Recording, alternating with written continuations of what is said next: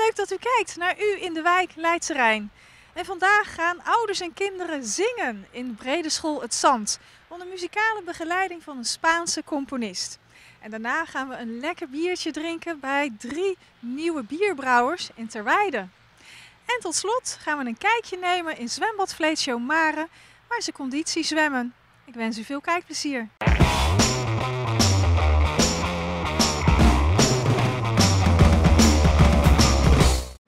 Guantanamera, Guajira, Guantanamera,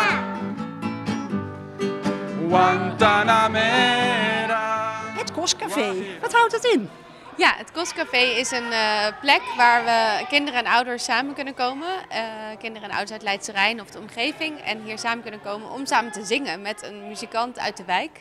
Elk Kostcafé dan eh, beginnen we even met wat lekkers drinken en elkaar ontmoeten. En daarna gaan we samen zingen. En dan nodigen we de gastmuzikant uit om een lied te delen. wat voor hem of haar... Ehm, belangrijk is of veel betekenis heeft of wat hij graag wil delen. En uh, zo leren we allemaal verschillende talen en liederen uit verschillende landen. Wie is dan vandaag de gast? Vandaag is Jonas Biscard de gast, een Spaanse componist. Een echte muzikale duizendpoot die van alles uh, doet en ook heel veel uh, met uh, muzikanten uit verschillende werelddelen. En hij kan dat heel goed samenbrengen. Una poca de gracia ya tu seré partiste portiste. Vosotras.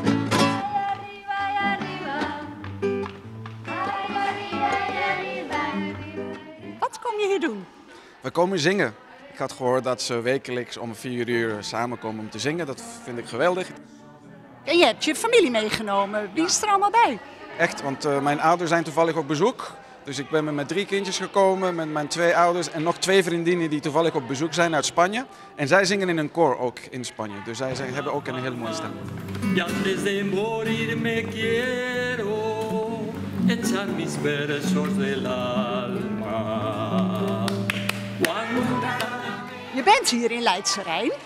En Leidse Rijn bestaat 20 jaar en het thema is nieuwe buren. Eigenlijk ben jij wel een soort nieuwe buur van ons. Inderdaad, want ik woon gewoon aan de andere kant van de Gele Brug. Dus ik, ik heb deze wijk zien ontstaan en ontwikkelen. Dus jullie zijn mijn nieuwe buren. Je woont natuurlijk allemaal in een nou ja, betrekkelijk nieuwe wijk. En uh, uh, ja, vaak. Ik weet niet of je altijd je buren kent. En sowieso weet je misschien niet hoe ze klinken. Of hoe hun moedertaal klinkt. Of hoe uh, het lied uit hun jeugd klinkt. En ik denk dat dat heel mooi samen kan komen.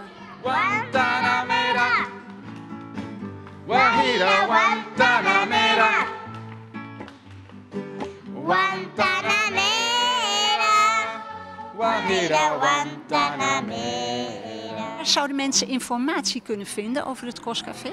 Als je naar de website gaat, kinderenouderzingen.nl, daar vind je meer informatie, ook de data en de plekken. En uh, de Facebookpagina van Kinderen en Ouders Zingen. Se queda la clara. la entrañable transparencia de tu querida presencia, comandante Che Guevara. Again. Y aquí se queda la clara, la entrañable transparencia de tu querida presencia, comandante Che Guevara.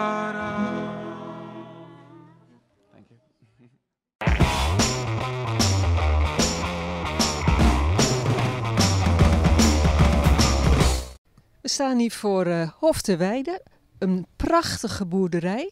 Uh, zo oud als ik weet hoe, werd niet zoveel in gedaan. Uh, maar nu zijn er heel veel bijeenkomsten. Vanavond is er een, een workshop, bierbrouwen.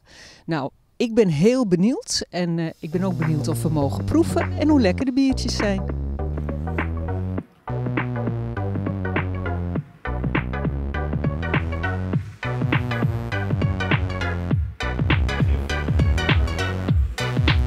In de boerderij worden allerlei leuke, ont, uh, leuke uh, dingen georganiseerd voor de buurt. waarin we proberen mensen met elkaar te verbinden. Dus we hebben een oproep geplaatst op Facebook en, en een briefje opgehangen bij Albert Heijn. En ehm, om, om mee te komen brouwen. Dus dat is wat we eigenlijk gaan doen. We gaan gewoon samen brouwen met mensen uit de buurt.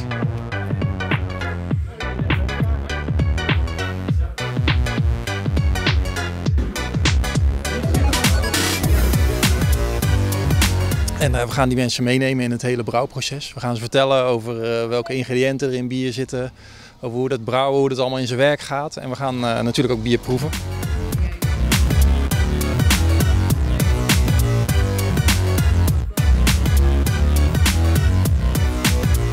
We hebben een, een, een brouwpan van, van 36 liter.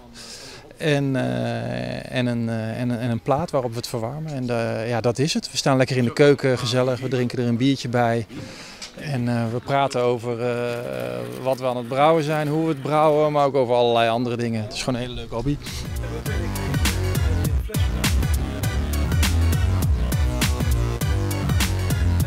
Heb je zelf al eens bier gebrouwen?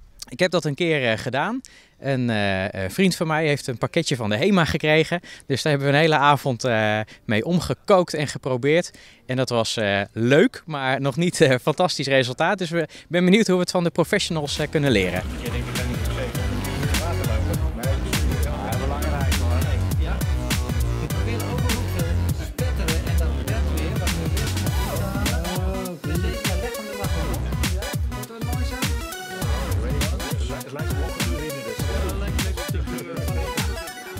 Jullie zijn hobbybrouwers. Wat stoppen jullie allemaal in die biertjes?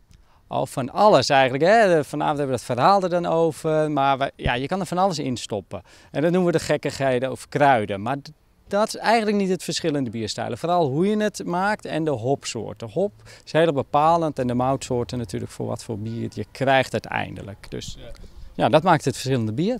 Hoe is het met jullie hop gegaan? Ja, onze hop. Nou, de hop die hier achter ons staat, die, uh, nou, dat is niet zo goed gegaan. Uh, die heeft waarschijnlijk uh, niet de juiste mest gehad of iets anders aan de hand. Te weinig water, geen idee. We hebben een tuinman gehad die er heel goed heeft voor gezorgd, maar het is nog niet helemaal gelukt. Maar in onze tuinen ziet de hop er weer wat beter uit. dus we hebben wel wat hop om zelf ook nog mee te brouwen.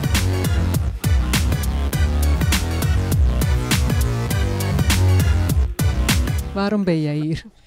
Ja, eigenlijk wel omdat ik bier ook heel lekker vind. Maar ook mijn vriend heeft altijd speciaal bier super leuk gevonden. Ik dronk vroeger nooit bier, maar toen leerde ik hem kennen en toen ja, kwam het ook een beetje van. En nu ik elke keer op vakantie ga, proberen we altijd lokale speciaal bier. Dus toen ik dit zag, dacht ik ja, is ook dan wel leuk om het een keer zelf te brouwen, want dat hadden we nog nooit gedaan. Waar komt jouw passie voor het brouwen vandaan? Um, mijn passie komt vooral uh, voort uit het bier drinken en uh, lekker, uh, lekkere biertjes drinken. En ja, Edward maakt gewoon hele lekkere biertjes en vandaar dat ik geïnteresseerd ben in het bierbrouwen.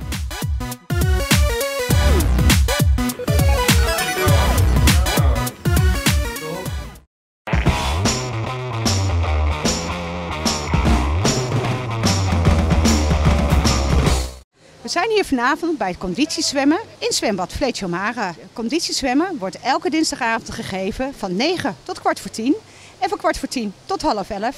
We gaan even kijken wat het eigenlijk inhoudt.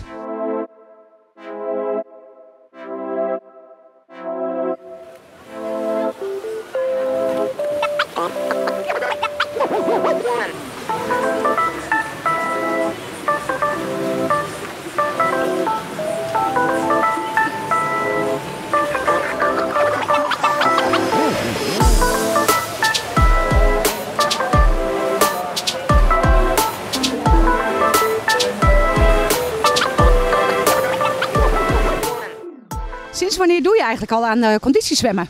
Uh, ik dacht iets van 2003, met uh, tijd en weide. Maar toen zaten we nog niet in dit zwembad, toch? Nee, dat is een oude bad hiernaast. En waarom doe je aan conditiezwemmen en niet bijvoorbeeld gewoon in, aan baantjes zwemmen? Omdat hier toch meer stimulans in zit. Je krijgt uh, opdrachten die je uit moet voeren. En uh, ja, je zwemt toch een beetje in de baan tegen elkaar op. Dus dat uh, geeft extra, een extra drive. En hoeveel zwem je op zo'n avond? Ja, dat varieert van de oefeningen die je doet. Dat kan zijn van 40 banen tot en met 60 banen of eroverheen. En nu zag ik iets met een bal. Wat houdt dat in? Rustig bijkomen. Nou, ik geloof dat je alweer verder moet. En het is conditie, dus hup, aan de gang.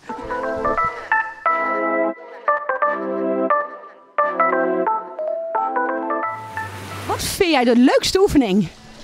Nou, ik vind een aantal oefeningen leuk. Uh, je hebt van die piramideoefeningen waarbij je of uh, eh, heel lang eh, niet mag ademen. Of, eh, dus dat je dat opbouwt. Dus om de zoveel slagen en dat je dat steeds verder opbouwt. Eh, en, eh, maar ook met piramideoefeningen met conditietraining. Dat je echt steeds meer banen hard moet en dan weer afbouwt. En dat vind ik heel erg uitdagend, daar hou ik wel van. Dus dat, nou, ja,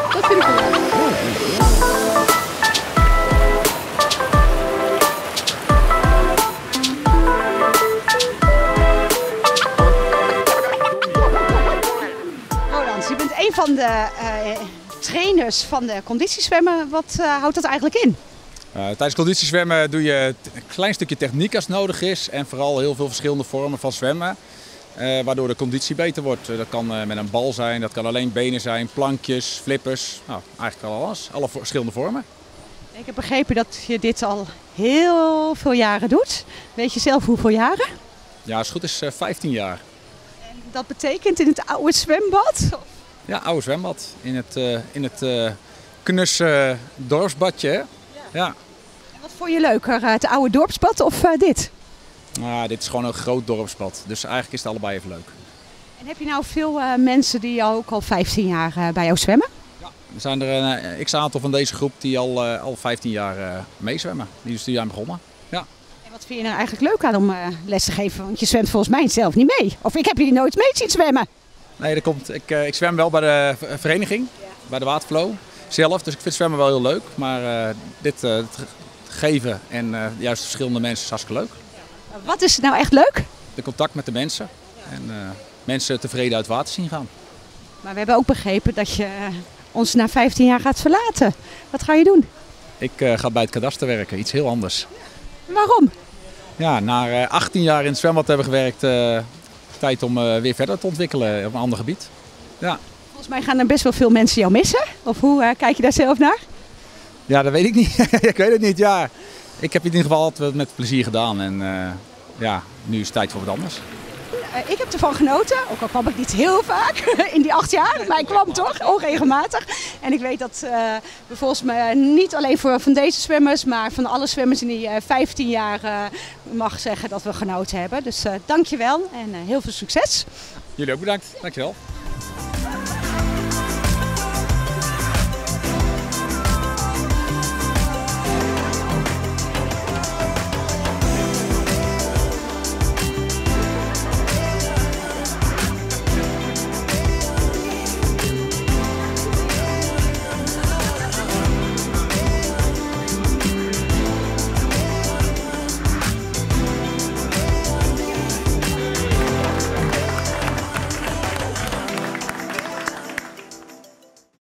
Dat was alweer het laatste filmpje van vandaag.